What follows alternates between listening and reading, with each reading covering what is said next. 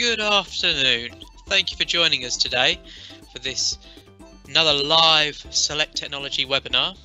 We're going to be covering cyber security today. It's we're going to chat about all the tips and tricks to help the individual and their security. We're going to chat about how the organisation security is important. We're also going to litter it with lots of stories from around the world and news articles. So that'll be great fun. Hopefully we're all prepared and everybody's got tea, popcorn, and all those little bits ready.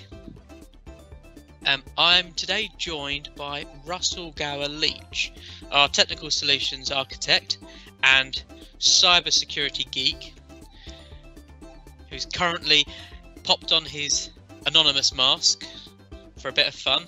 To protect my identity, yeah. there we go. See Russell there. How are you doing, Russell? Not bad, not bad. I'm missing out on the popcorn. Where, where, where did this happen? Um, I, I've made it, but COVID has meant that I just can't get it to you. Damn you, 2020. exactly. I'm not going to maintain that for the the entire talk, so we'll, we'll lose that. So, you know, we're going to crack on. Russell, before we get into all the secure, security elements and all of that, I wanted to bring up something that I saw on your LinkedIn post a Hmm. few weeks back. You are now in the top 50 in the UK for Try Hack Me. Mhm. And I found that interesting. But I'm guessing there are going to be people out there who don't know what Try Hack Me is all about. They'll work out what the top 50 in the UK means, but what's what's Try Hack Me? Uh, it's it's a kind of a learning platform. So uh, for people who are interested in cybersecurity or, or pen testing, kind of specifically, um, there are platforms out there. TryHackMe is one of them, and they are my favourite. Feel free to sponsor. Um, but um, yeah, it, it just helps people kind of learn about the probably the, the hacker mindset. I think is where I find it useful. So understanding how um, systems and, and processes are, are looked at from from the attacker's point of view, and also it's, it's, it's fun learning. I mean, it sounds a bit. It does sound geeky. I'm sorry, but um, I, I have discovered I do enjoy learning new things, and the challenges in the they have they call them rooms in other platforms. They could be just called challenges or, or boxes and things. Um, but it's kind of like playing a game. You're, you're working out a puzzle. You're you're being given some information, and now you've got to get through to this next piece, defeat this thing, and get to the next level. And I've always always kind of liked the challenge and and, and yeah, like to learn something new. And it has it's taught me quite a lot of stuff. Um, I do wonder what it's pushed out, but yeah. we'll. So, is it the challenges that are given you? Are they a bit like real world challenges that hackers are actually actually doing, essentially? Yeah, yes and no. So some of it is is kind of modelled after realistic things. So there'll be things like using Eternal Blue um, as, a, as an exploit. If you know anything about, um, or if you ever heard the name, Eternal Blue was um, uh, an exploit that the NSA discovered in Windows, and they, they kind of kept it themselves to help them get into other systems for, for reconnaissance and other bits and pieces. Um, they did it leak in 2017, and it pretty much fueled WannaCry, NotPetya. So um, we're probably going to get into this a bit later on, but um, in in cybersecurity, there is a, there are communities, or in fact, we're all part of a community. Um, so people will look out for what type of exploits and what vulnerabilities have, have come about, how people are breaking into things, and they'll learn from that and incorporate it into to what they're doing. So, I mean, um, I think it's fairly well established that WannaCry was done by North Korea. So they, they saw this exploit and they weaponized it and then made not a lot of money in the grand scheme of things, but they caused an awful lot of destruction in, as a consequence um, using it. And that's fairly fairly common. You know, you're always going to learn from what your, your peers are doing to a degree. And similarly, again, we'll, we'll probably come on this later on, that uh, when we think about cybersecurity for individuals and businesses, they need to go hand in hand because one will benefit the other. That's really cool. So you've managed to do quite well on Try Hack Me then, and it proves that you are uh, the right person to be here as a guest, essentially. It- it, I, I'm in the top 50 for the, in the current month. I mean, uh, yeah, there are people who with a lot more skills than me. Um, so I won't. There's not an ego thing there. Um, no, Ah, it's- you're it's- putting it's- yourself- you're putting yourself down there, Russ. it, it's a good platform. I encourage people who are interested to check it out. Um, Hack the Box is another popular one. it's a little bit more more hardcore. It's not quite as accessible for people who are uh, new to the um, to the, the, to the scene. So, but yeah, feel free to go and check them out. Oh, that's cool.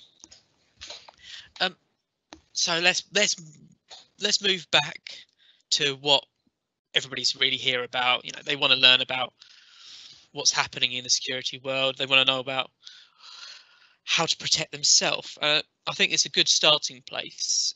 Is you know, what major developments are happening in the security sphere? Because I know this month is Cybersecurity Month, and coincidentally, we are doing this webinar. funny enough, um, and, I, and, and when I was reading about it, and that was talking about community and that concept of community, like you've just mentioned in the whole TryHack Me, that's part of community, and everything's part of community. So let's. So what's happening in that community? What's developing? Are there what? It's, it's an sorry, it's an interesting one because in terms of the kind of the, the advice that's kind of given out, I mean, the, the whole point of cyber security awareness is to, is to get people thinking. I think security is one of those things that tends to be the last thing you kind of think about because um, it's probably an aggro. You know that there is there are layers that are being added to what I'm trying to do, which is making life more difficult for me. From a business point of view, it's probably eating into my bottom line. I mean, it, it's quite a negative way of looking at it. But yes, the security doesn't doesn't generally get the uh, the attention it probably needs and deserves. So I think the whole point of, of these awareness months is to actually give you some time to to take a little little look and reflect. Um, now might be a good opportunity to take a look at your password habits. If you're using a password manager, have a little look through there. Have you got any rubbish passwords want, that want sorting? Are you sharing any passwords? And you really kind of shouldn't. And we can probably cover some more of that um, in a bit. Um, and yeah, just have an opportunity to, to think about these things. And one of the the interesting kind of community-based uh, concepts, I think, is um, that when you protect yourself, you protect those around you.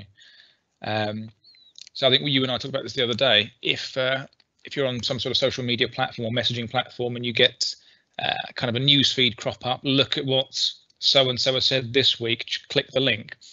If it's from some random person, you're not likely to click it, really, are you? There are some that do, which is why these these schemes kind of work. But more often than not, you're not going to click on the thing.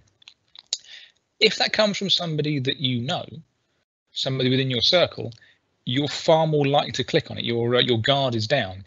So there is some value in that if you protect yourself, you stop your own um, accounts and, and presences being misused to, to affect others. Well, yeah, that's actually true because I mean, if your family member gets hacked and they send you a message, you are more likely to click on that link that they might send you. You might think it's completely valid, but to be fair, a lot of the criminals are very poor at you know sending that message and making it look realistic at all. But you are right actually. The well, yeah if you if you do have a family you know if you do see it from somebody you know you are more likely to click on it. Um so how how can the individual what what tricks and things could they be doing to protect themselves then? Well, it, it, again, it's a lot of the, the, kind of old-fashioned advice, and it's an interesting um, comment you make that, that you know sometimes these messages are blatantly obvious and the, the grammar's terrible and stuff like that. There are kind of tiers of of, of skill. Um, a lot of the the kind of serious cybercrime are organized crimes and they are renting out their, their platforms you know people will pay them subscription kind of like office 365 to have access to tools and campaigns to go and target people um, and one thing to bear in mind is that these are just numbers you know they'll they will purchase huge great lists of email addresses and sometimes passwords and just just kind of scattergun, see what they'll, they'll get back out of it. If you actually get somebody who's kind of got a bite, you know, they've they've actually found um, some sort of entry point that works. They will probably do a bit a lot more recon, try and get an idea on um, what who you kind of communicate with and how you communicate. I mean, at the end of the day, um, a skilled human being um, is, is is quite a, a fearsome foe, and it, it does come down to what are you doing to protect the access to your accounts? So things like having strong passwords is a really obvious one and one that gets touted quite a bit. Um, but I think there is there's certainly some misconception of what, what considered a strong password because the, the, the, rules have changed slightly. cast your mind back, um, yeah, five years or more, it used to be a case of you need to make your password complex, chuck in some numbers and special characters and bits and pieces. That that'll do. Um, and it's taken quite a while for actually the kind of the rest of the industry, um, in terms of all industries, to catch up on it. You go to a website now, and they all will ask you to put in a decent password, and they'll try and validate some of the content in the password you're choosing to give you a little green ticks and say, "Yep, yeah, that's a strong yeah. password." You know, in the early days when the, when the device was coming out, those platforms weren't doing that. You could set the world's crappiest password and it'd be fine. Um, but as a, but it, on the on the flip side of it, as time's progressed, the ability for for attackers to crack passwords uh, or just in fact gather your password from somewhere else. They don't necessarily need to crack it if they can find that you've used the same password elsewhere. Um, has increased. So now the, the, the advice is actually go for a longer password. The longer you go uh, for in password length, the, the, the, more secure your account is, the longer it will take to actually churn through and break it. Um, the challenge with that is, I was doing this the other day. I was signing up to um, into a website, and the the strongest longest password length it wanted was was 12 characters, and that's that's fine. That's still considered quite a long password to, to break into, but you know the current advice is actually go longer than that. Really? What, yeah. So, so what, what is important, uh, not just numbers, characters, and everything like that, but actual well, lengths. That's the, the, the kind of the problem. So people are predictable uh, in many respects, um, and we're predictable for, for our own sake, for, for the, our own convenience and simplicity.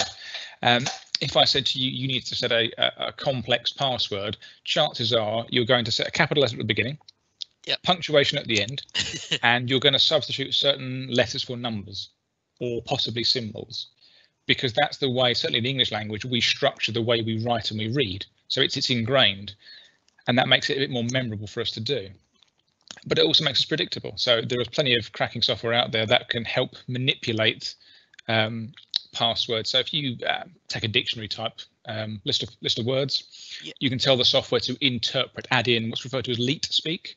So it substitutes the letters for numbers, add in special characters. We know that um, maybe the the target we're after, their convention is a word and then a, a four-digit number at the end, and it can pre-build up a list of passwords for you um, rather than you having to, to, to, kind of gather them or, or break them. Um, and then it will churn through. And that's actually one of the other kind of interesting points is talk about password cracking. The if your password does get out there in, into the into the wild, what tends to happen with certainly with public um, data breaches, and if we want to kind of backtrack slightly on this, um, a lot of the a lot of the password breaches that occur out out in the world come from big names. Um, yeah. So in the last what ten years, Sony have been hacked, Nintendo, Facebook every other week. Um, they've got a pretty appalling track record. Um, but you, name it, these big names will, will, get targeted because they hold a lot of data. And when the bad guys get in and get um, get passwords, what they actually get is what's referred to as a hash.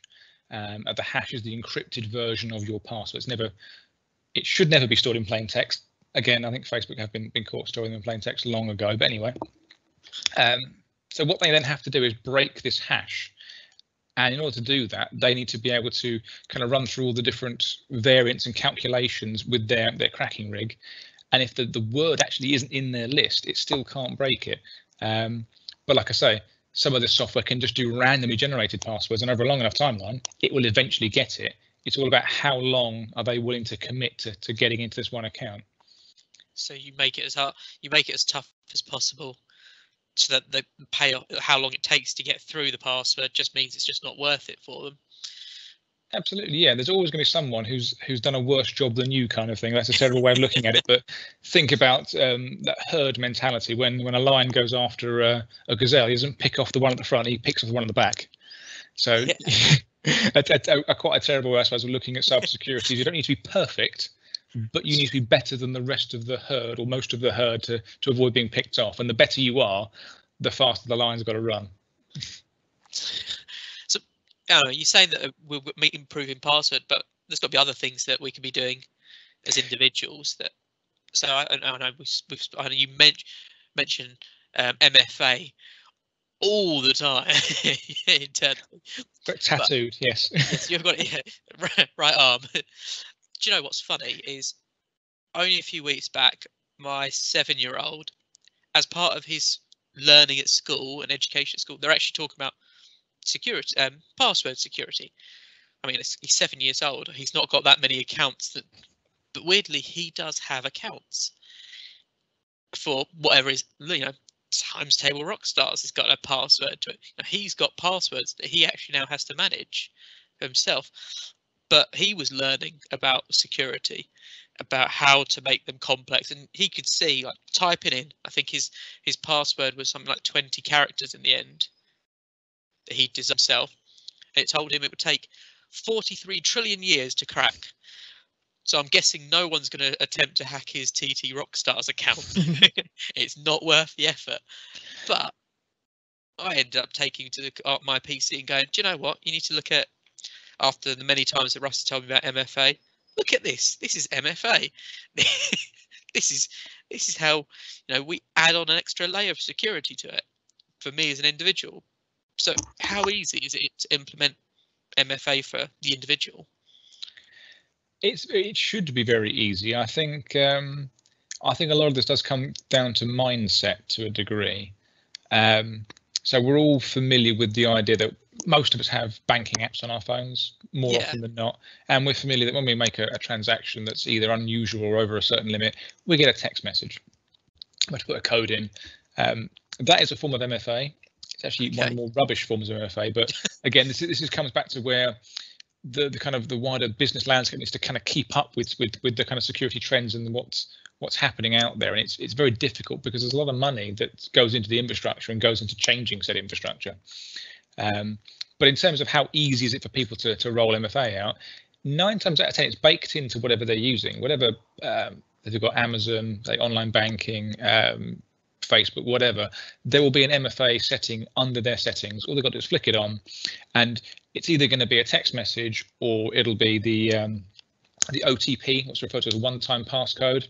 Yeah. And for those of you who can't visualize that, that's the set of numbers that changes every sort of 30 to 60 seconds and puts you under pressure when it's only got so many seconds left. Can I can I get that code in? Um, it's part of the and, game now. and that's but, but that's that's one of the things. That's that's kind of how hard it should be but those are quite clunky mechanisms, and I think they set a bad precedent. When I talk to, to business customers about um, MFA, um, you know, uh, the, the common response I get is, yeah, that sounds great. I know we need it. I'm going to get earache from the staff because it's going to make their lives more difficult. And I always argue that the right MFA solution won't make their life more difficult, but it's just breaking down the uh, the perception, because again, their perception is going to be, I'm going to get a text or I'm going to get this stupid code that's going to put me under pressure to, to put it in. If I miss it, I've got to do it again. It's, it's adding 30 seconds to logging into my machine, which is not the end of the world, but it will seem like it at the time because it's frustrating. Um, to be fair, we want to be able to get into an, an account just like almost immediately. We don't. The password is is already a struggle for some. and that's one of the, the interesting things because again, biometric gets touted about as being the answer, the password killer, and it's not. Behind the scenes, the, the biometric is just passing on the password. It, it's been, been built on top of it. You know, um, pretty much all of the infrastructure anywhere that requires some sort of secure communication has a password element to it. Um, all these other factors are, are, layered on top to either make it more secure or try to make it more convenient for us. And, and biometrics is, is, by far and away more of a convenience than a, than a security measure to a degree. Um, if you know your, well, if you don't don't know your password anyway, one of the, the, good ways you can kind of get around certain things is never know your passwords. Always have random passwords for every account, and use biometrics as a as a means to authenticate. Again, you've got the convenience factor, you've got the strong password factor, but again, depending on on the amount of effort someone wants to put in, there's still ways around it. I mean, even MFA itself isn't perfect. But yes, bit bit bit more an extra layer of security makes everything a bit more harder for this for the criminals, really. And that's it. It's all about layers. security or defense in depth is kind of the term. that's fair enough. I like that. I think this is something we should always be making sure we do, which is you know, changing our passwords as well. I'm guessing regular changing passwords is another thing that we should be. Well, you, you say that again, the, the advice seems to kind of differ. So that one of the, the things now is that if you've got a really long password, don't keep changing it.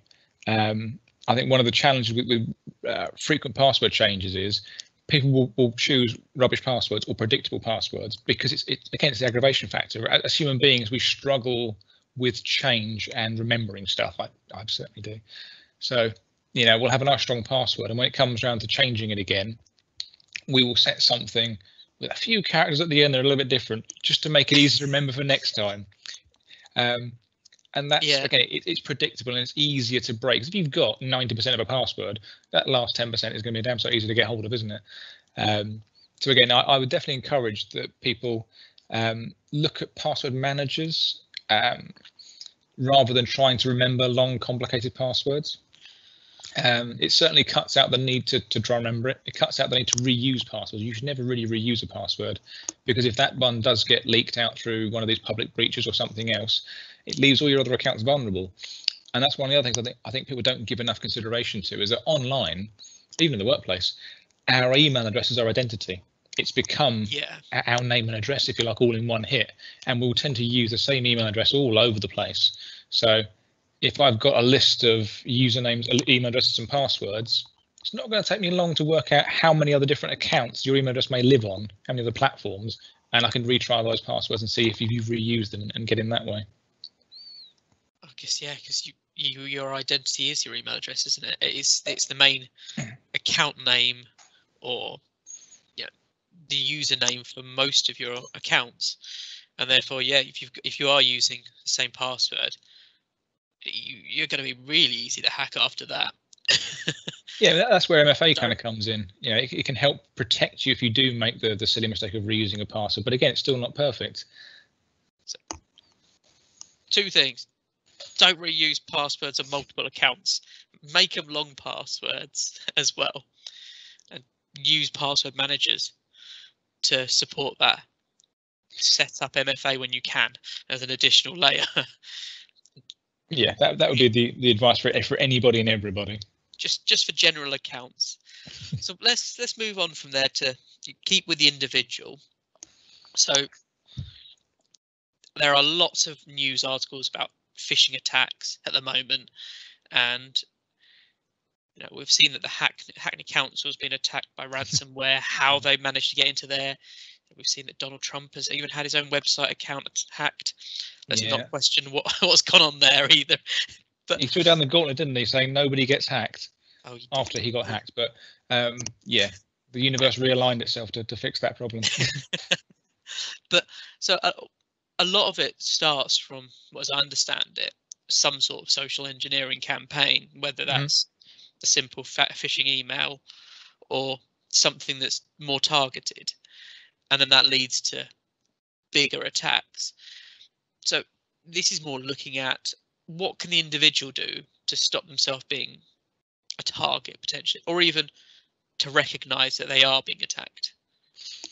Okay, it's um, I think we need to accept that we are all targets when it comes to phishing. Phishing, I think, accounts for 90% odd of how most kind of breaches start, and it's it's one of those things where phishing is more of a psychological um, trick than a technological one. Technology obviously is, is helping to enable it, um, but at the end of the day, absolutely anybody can be phished with the right information, the right context and circumstance.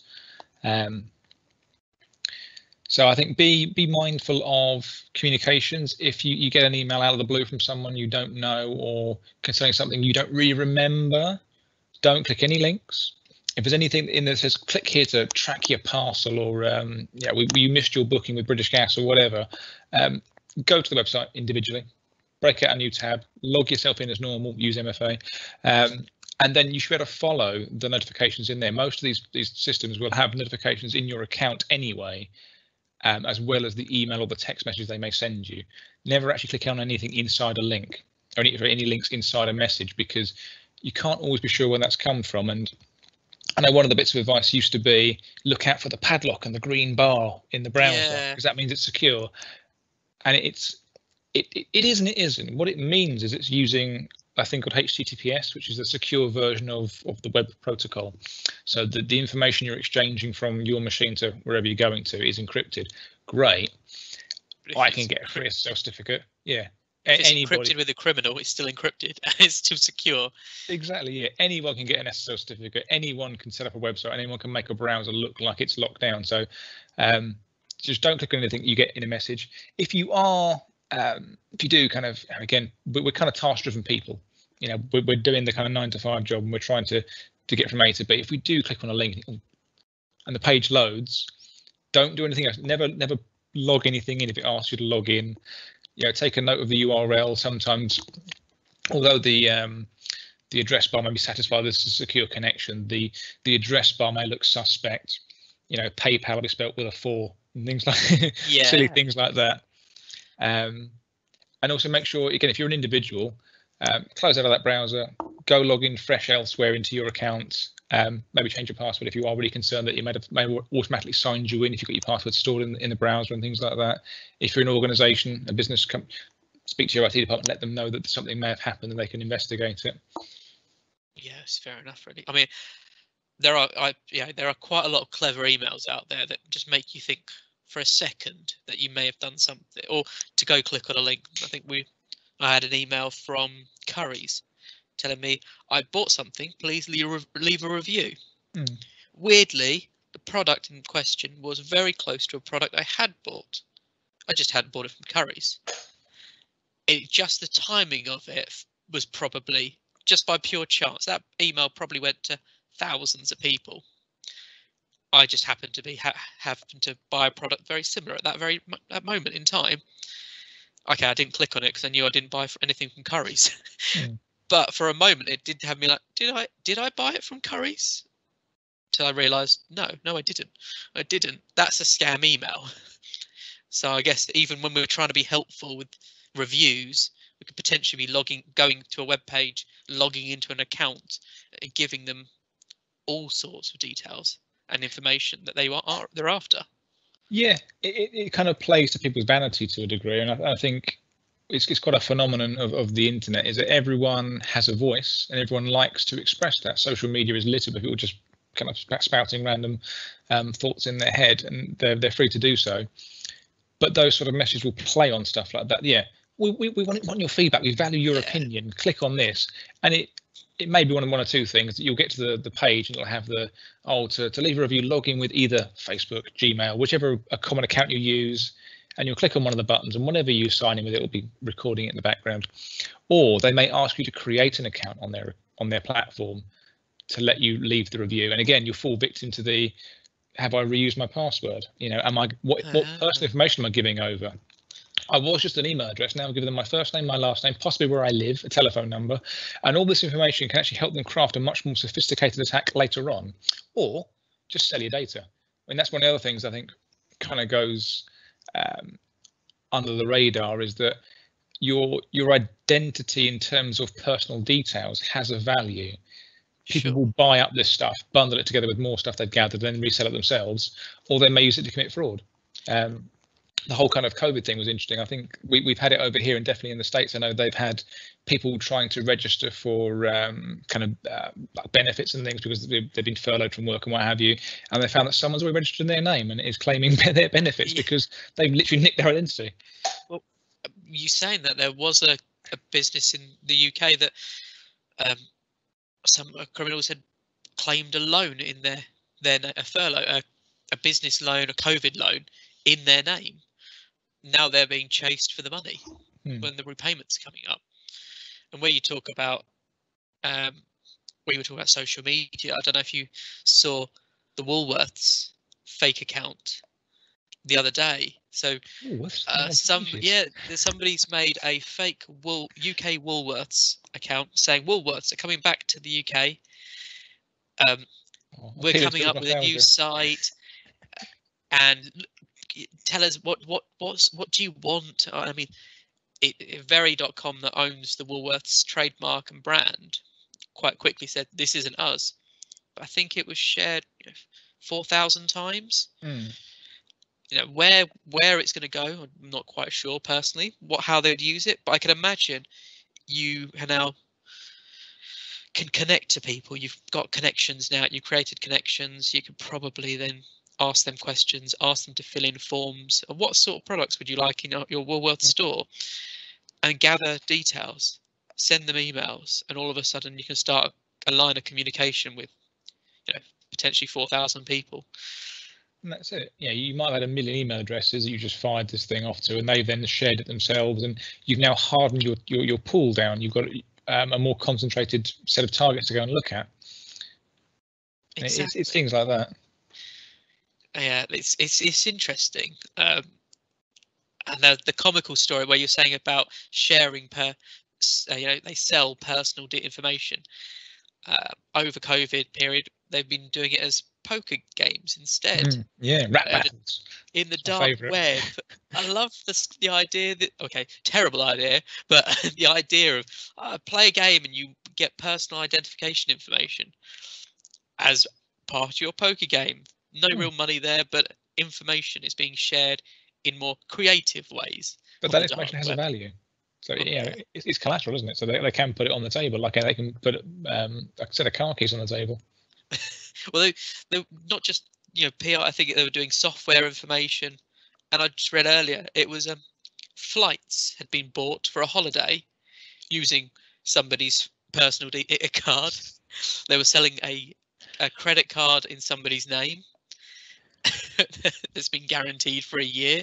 Amazing. You're thinking, wow. The credit card thing, I, I, can see them getting away with that. The flights, that'll be interesting. You, you turn up at, at Gatwick or Luton or wherever it is, and um, clearly you're all over the CCTV. You're handing your passport over. Who's going to be brave enough to use those tickets? Oh, who knows? but or you run it as that you take the flights and you run it as a competition on Facebook.